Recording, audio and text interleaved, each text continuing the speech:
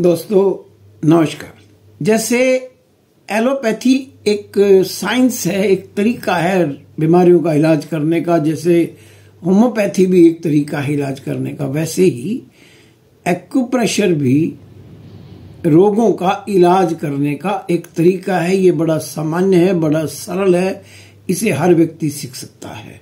दोस्तों, मेरा नाम जितेंद्र शर्मा, मैं सर्टिफाइड योगा टीचर एक्यूप्रेशर में एमडी हूँ। आज मैं आपको कब्ज के पॉइंट्स के बारे में बताऊँगा। हमारे हाथ, दोनों हाथों में, दाएँ और बाएँ हाथ में, जो ये हिस्सा है, ये वाला ये वाला हिस्सा, ये हमारे पेट का, गैस का पॉइंट इसको ऐसे दबाने का। दबाना, छोड़ना दबाना छोड़ना दबाना, छोड़ना। इधर से पीछे से भी दबा सकते हैं, आगे से भी दबा सकते हैं। दूसरा, ये जो हिस्सा है सारा ये मैं थोड़ा नज़दीक से दिखा देता हूँ। ये छोटी आंत और ये बड़ी आंत को रिप्रेजेंट करता है। इसको हमने इस प्रकार दबाना है।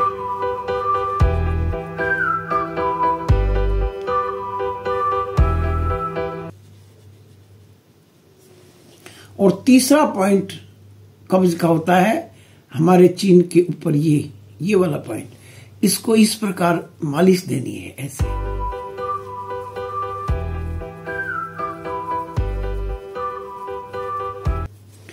सुबह सुबह उठते ही दो या तीन गिलास पानी पी करके जिसमें नींबू भी डाल सकते हो, शहद भी डाल सकते हो, आप ऐसा कीजिए, एक बाल्टी में गर्म पानी ले लीजिएगा।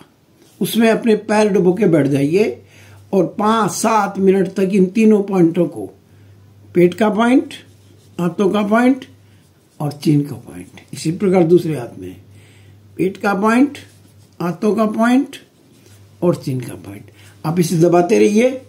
गारंटी से आपकी जो कॉन्स्टिपेशन है, वो बहुत जल्दी समाप्त होनी शुरू हो जाएगी।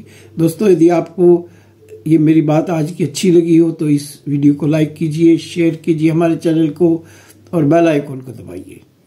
धन्यवाद।